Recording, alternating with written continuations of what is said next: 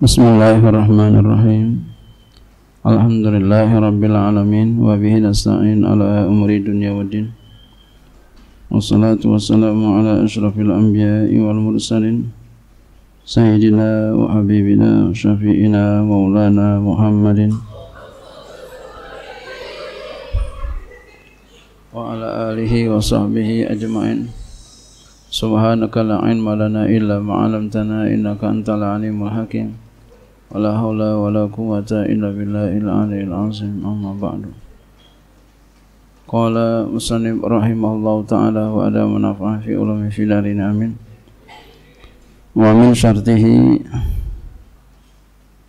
ayyakuna muttasilan bil kalami. Dan di antara syaratnya syarat istisna ya ayakuna bahwa ada dia itu mutasilan bersambung mil kalami dengan kalam. Kalau qala ja'al fuqaha'u summa qala ba'da yaumin illa zaidan lam yasiha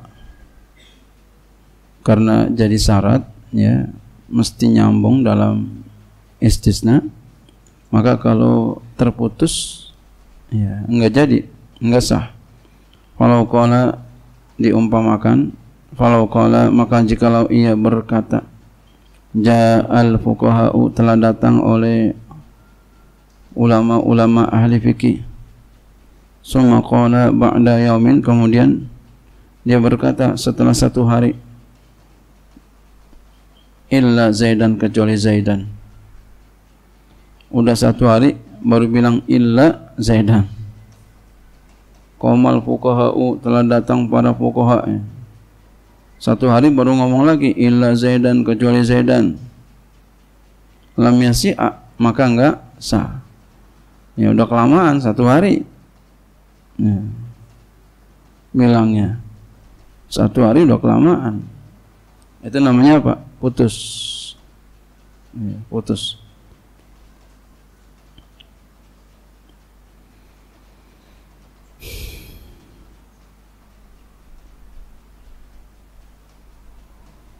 Ya. Wa yajuzu dan boleh takdimul mustasna al mustasna minhu. Dan boleh mendahulukan mustasna atas mustasna minhu. Jadi duluan mustasnanya daripada mustasna minhu. Boleh. Nahu sumpama maqama illa zaidan ahadun. Kan begini jarang maqama tidaklah berdiri illa zaidan ahadun.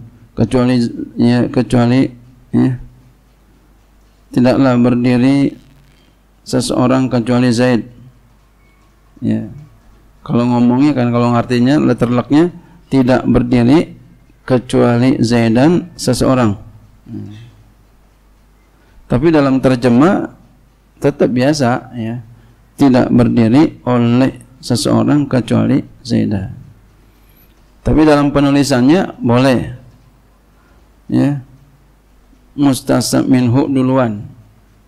Ya mustasna duluan, mustasab minhunya belakangan.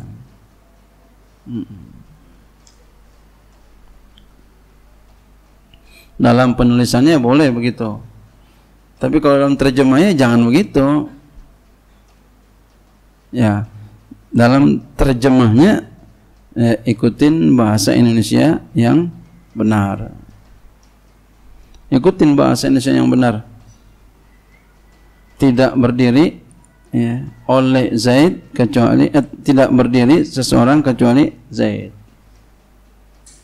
Dalam tulisan boleh seperti ini, duluan mustasna daripada mustasna minhu. Mana mustasna? Zaidan. Mustasna minhunya ahadun.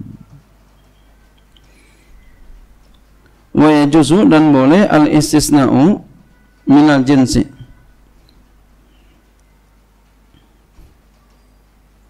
Kama taqaddama wa min ghairi dan daripada yang bukan sejenis. Ya. Dan boleh istisna itu daripada sejenis. Ya.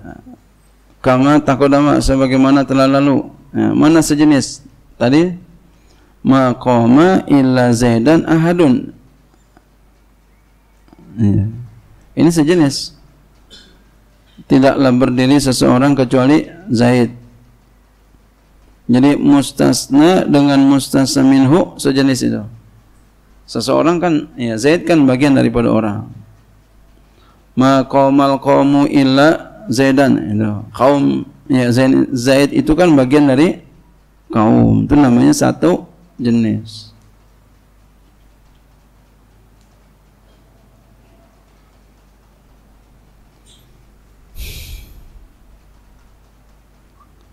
Wa min ghairi dan daripada yang tidak sejenis dan daripada lainnya. Maksudnya enggak sejenis. Nahu seumpama ja'al qaumu illal hamira. Telah datang oleh kaum kecuali himar. Nah, ini kan bukan sejenis. Boleh. Kalau dalam dalam kaidah nahu kalau dia enggak sejenis wajib fathah. Jadi boleh oh wajib bacanya hami hamira illal hamira. Oh, dalam kaidah nahu. Hmm. ini kita nggak bicara itu ya.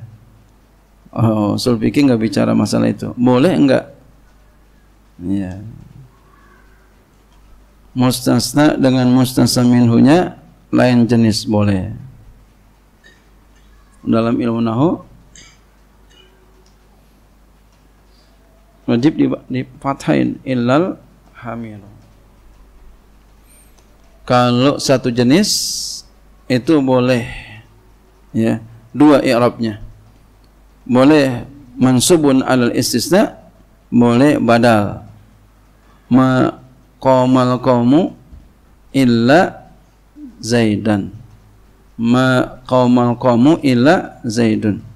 Kalau Zaid illa Zaidun berarti jadi mansubun alal istisna.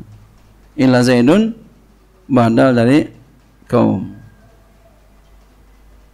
Itu kaidah nahunya ya. Uh, dari segi barisnya. Hmm. Kalau dia lain jenis mesti fathah. Ya.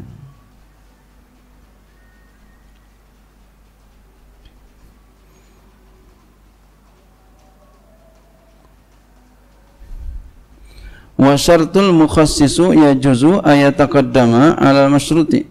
Nahu in ja'aka banu tamimin fakrimhum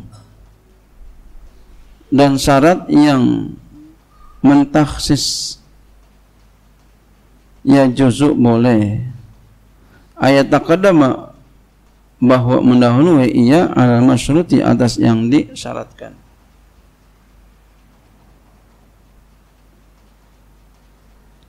Nahu seumpama ja'aka banu tamimin fa'akrimuhum.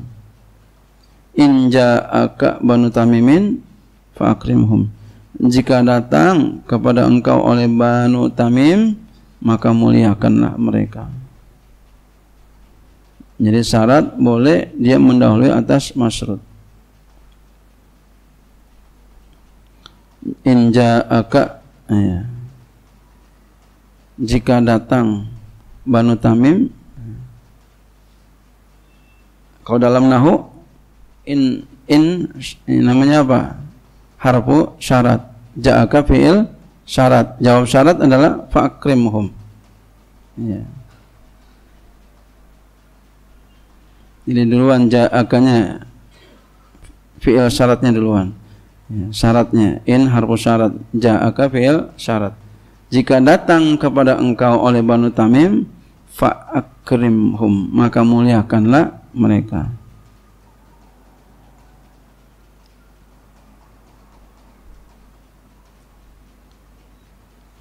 Wal muqayyadu bisifati yu'malu alaihil mutlaqu karaqabati qayyidat bil imani fi ba'dil mawadi'i kama fil kafaratil qatri. Wal muqayyadu dan yang dibatasi misipati dengan sifat yuhmalu ya dihamalkan alai atasnya di, dihamalkan maksudnya diamalin. Atasnya al mutlaku akan mutlak. Karokobati seperti rokobah budak. Kuidat maka dia dibatasi bil imani dengan iman fi ba'dil mawadi pada sebagian tempat. Kama fi kafaratil qatli sebagaimana pada kafarat membunuh. Wa utliqat dan di, dimutlakan. Kalau tadi ya dibatasi dengan sifat. Dibatasi dengan sifat ya maka diamalkan atasnya diamalkan atasnya mutlak. Seperti rokobah dibatasi dengan iman. Kemudian yang kedua dimutlakan. Fi ba'dil maudi pada sebagian tempat kama fi kafarat zihar sebagaimana pada kafarat zihar. Zihar itu orang ya tentang masalah zihar ya. Seseorang bilang punggung istrinya seperti punggung suaminya itu ada kafaratnya. Fayuhmal mutlaku maka diamalkan dia akan mutlak. Atau diamalkan yang mutlak. Diamalkan yang mutlak. Alal muqayyadi. Atas yang muqayyad. Atas yang dibatasi dengan sifat. Tiatan kenapa melakukan ini? Karena hati-hati wallahu a'lam bishawab. Wa yajuzu takhsisul kitab